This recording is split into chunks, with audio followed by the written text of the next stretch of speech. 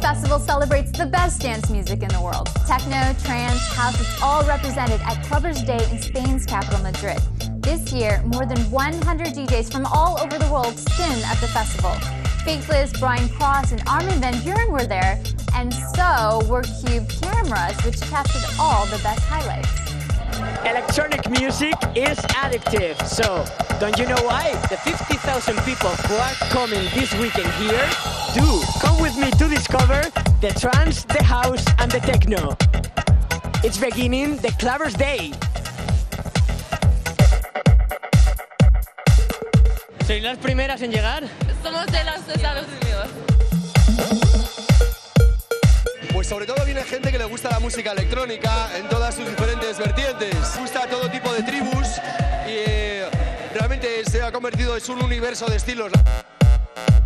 The newest thing this year's edition is the Klubbers Green Zone. ¿Tú sabes este suelo qué es? Yo qué voy a saber, tío. Everything here is ecologic. People dance, and when they dance, there is a whole mechanism inside every module that converts the power of the people because they're jumping uh, into electrical energy. cuando salimos cambiamos el mundo. Sustainability most of the time is about doing things less. So it's it's about doing having more fun with less stuff. This is huge. 80 DJs, 5 zones.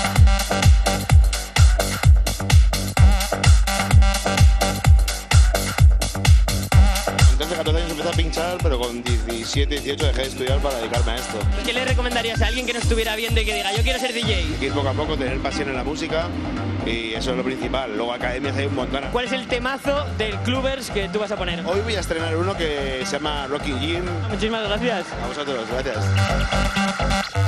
And the center of this party is the Madrid Arena Zone.